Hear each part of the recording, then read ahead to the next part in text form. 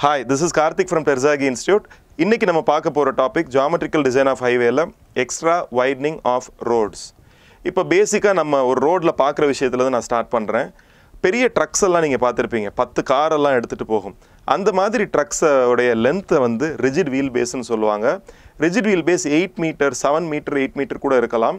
அப்போ கண்டிப்பாக வந்து அது ஒரு பெரிய லென்த் ஆஃப் த வெஹிக்கல் இப்போ அந்த மாதிரி ஒரு வெஹிக்கிள் வந்து ஹைவேல போயிட்டு இருக்கும்போது சடனாக ஒரு கர்வ் அப்ரோச் பண்ணும்போது அந்த வெஹிக்கிளை டேர்ன் பண்ணுவாங்க. டேர்ன் பண்ணும்போது டிரைவருடைய டெண்டன்சியே என்ன அப்படின்னா ஆப்போசிட்டில் வர வெஹிக்கிள் தெரியணும் அப்படிங்கிறதுக்காக ரோடோடைய எட்ஜுக்கு போயிடுவாங்க. போயிட்டு அந்த வெஹிக்கிளில் டேர்ன் பண்ணும்போது ஃப்ரண்ட் போர்ஷன் உடனே டேர்ன் ஆயிரும் பட் பேக் போர்ஷன் பார்த்தீங்கன்னா டேர்ன் ஆகாது.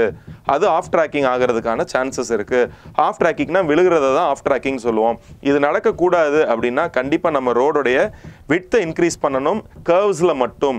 அண்ட் எப்போவுமே ஒரு ரோடு அப்படின்னு இருக்குன்னா அந்த கர்வ் இருந்தாலே ரேடியஸ் இருக்கும். ரேடியஸ் த்ரீ ஹண்ட்ரட் மீட்டருக்கு கம்மியாக இருந்தால் மட்டும்தான் நம்ம வந்து ரோடை வைடனிங் பண்ணணும். த்ரீ ஹண்ட்ரட் மீட்டருக்கு மேலே போச்சுன்னா நம்ம வைடன் பண்ண தேவையில்லை. ஸோ அப்போ ஐஆர்சியை சஜஸ்ட் பண்ணியிருக்காங்க. ரெண்டாக வந்து ஆக்சுவலாக வந்து டிவைட் பண்ணியிருக்காங்க. என்னென்னா ஒன்று சைக்கலாஜிக்கல் வைடனிங் இன்னொன்று வந்து மெக்கானிக்கல் வைடனிங் அப்படின்னு. Psychological widening is a empirical formula empirical ஃபார்முலானா அவங்க என்ன கொடுக்குறாங்களோ அதை மட்டும்தான் நீங்கள் என்ன பண்ணணும் நீங்கள் யூஸ் பண்ணணும்.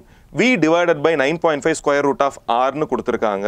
அண்ட் இதே இது வந்து உங்களுக்கு மெக்கானிக்கல் வைடனிங் அப்படின்னா ஒரு பித்தகோரஸ் தியரம் நமக்கு தெரியும்ல hypotenuse side square is equal opposite side square plus adjacent side square அதை வச்சே நீங்கள் என்ன பண்ணிடலாம்னா மெக்கானிக்கல் வைடனிங் கண்டுபிடிச்சிடலாம். இனிஷியலாக மெக்கானிக்கல் வைடனிங் கண்டுபிடிக்கும் போது எல் ஸ்கொயர் பை டூ ஆருங்கிற ஃபார்முலா மட்டும்தான் இருக்கும்.